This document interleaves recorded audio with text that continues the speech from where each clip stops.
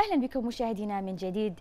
تتواصل فعاليات معرض الجواهر العربية 2016 مع استقطابه آلاف الزوار بشكل يومي من داخل وخارج المملكة. وقد أكد مشاركون على استمرار البحرين في إقامة هذا المعرض دليل على ريادة المملكة في استضافة أكبر المعارض المتخصصة على مستوى المنطقة وإدراكها لمدى أهمية صناعة المعارض كرافد أساسي للاقتصاد الوطني وإنعاش الحركة السياحية والتجارية. كما يعكس المعرض صلابة البنية الاقتصادية للمملكة وتمتعها بالمقومات التنظيمية التي تجعلها في مقدمة الدول الأكثر مرونة وتنافسية في ظل المتغيرات المتسارعة عالميا. وقد استطاع المعرض أن يجذب زوارا من خارج المملكة حيث يشكل مواطني السعودية ودول مجلس التعاون الحصة الأكبر من معدل الإقبال.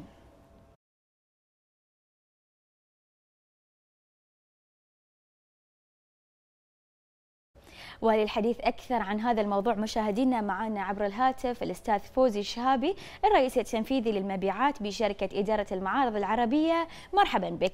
بداية أستاذ فوزي ما اللي يميز معرض الجواهر العربية هذه السنة عن المعارض اللي سبقتها؟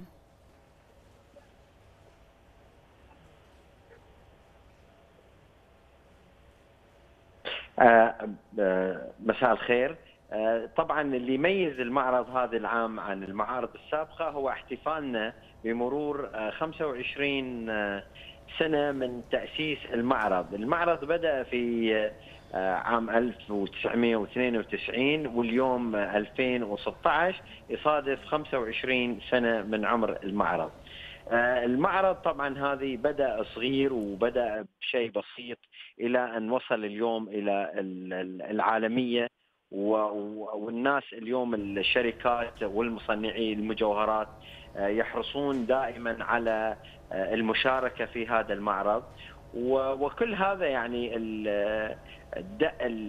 يعني السمعة هذه اللي تحمل اللي شالها المعرض و وصار لها السمعة العالمية هو بفضل رعاية صاحب السمو الملكي الأمير خليفة بن سلمان آل خليفة أطل الله عمره.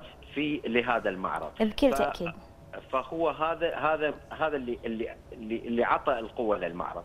آه بعدين التسويق المعرض وزيارة المعارض العالمية والى إلى كل معارض نروح تقريبا نزورها في العالم آه وندعيهم للمشاركة.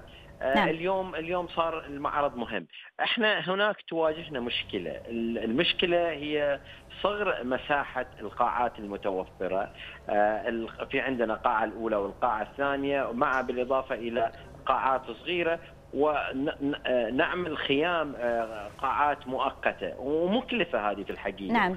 الخيام ولكن يعني على أساس نخلي نلبي طلبات العارضين المشاركين والراغبين في المشاركة فنضطر إلى هذه يعني أكيد. بكرة لما يصير إن شاء الله المركز المعارض الجديد وبحجمه الكبير إن شاء الله يكون في نلبي كل اللي المشاركين اللي على قائمة الانتظار حصل لهم الفرصة للمشاركة في هذا المعرض. نعم بكل تأكيد هذه الزيادة اللي تكلمت عنها ما هي إلا دليل لنجاح هذا المعرض بكل تأكيد كل سنة، فإلى أي مدى يساهم المعرض في إنعاش حركة السياحة والتجارة في السوق المحلية ولا هو بس يكون حق المجوهرات؟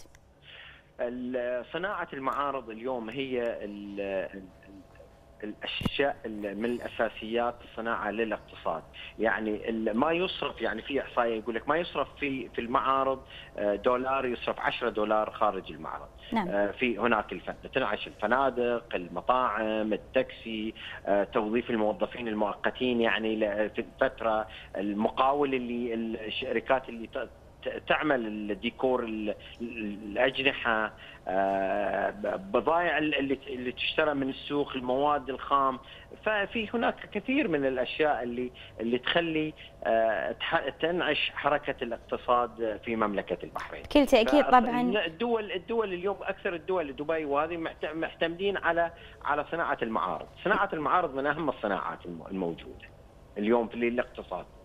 نعم أكيد آه، طبعا أستاذ فوزي آه، مثل ما نعرف أن عدد الزوار يفوق الخمسين ألف في كل سنة وتكون الجنسيات مختلفة من دول مجلس التعاون وأكثرها طبعا من المملكة العربية السعودية لكن ما هي توقعاتكم لعدد الزوار وجنسياتهم هذه السنة؟ والله إحنا توقعاتنا دائما إحنا متفائلين وإن شاء الله يعني وهذا دليل على آه، عدد أمس الافتتاح واليوم.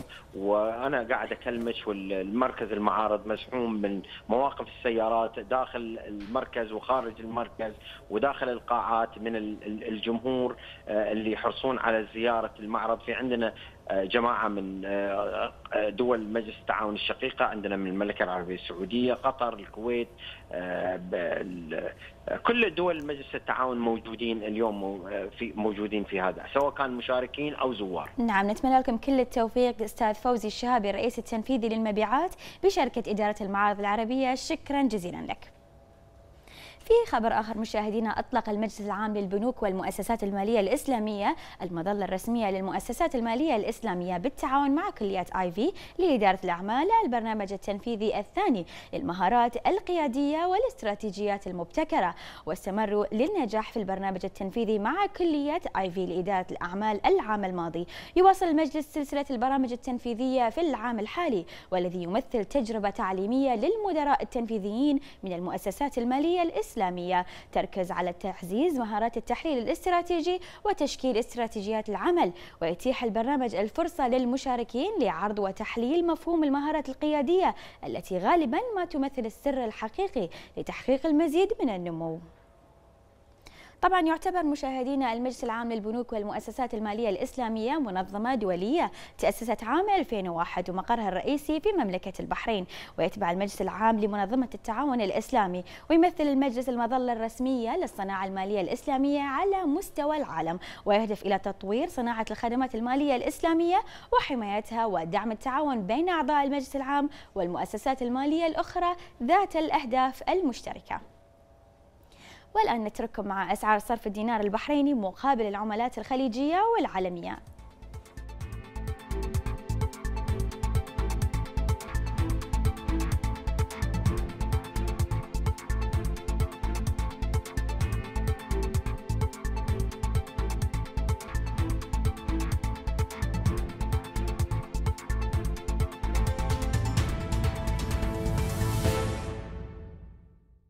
نستعرض وإياكم مشاهدينا أداء البورصات الخليجية حيث استمرت بورصة قطر بالتراجع لتكون الخاسر الوحيد بين الأسواق المالية هذا اليوم. فيما سجلت السوق المالية السعودية أعلى ارتفاع بنسبة 2.9% لتغلق على 6796 نقطة مثل ما هو موضح. مدعومة طبعا بنشاط أسهم قطاعات الإعلام والنشر والزراعة والصناعة الغذائية.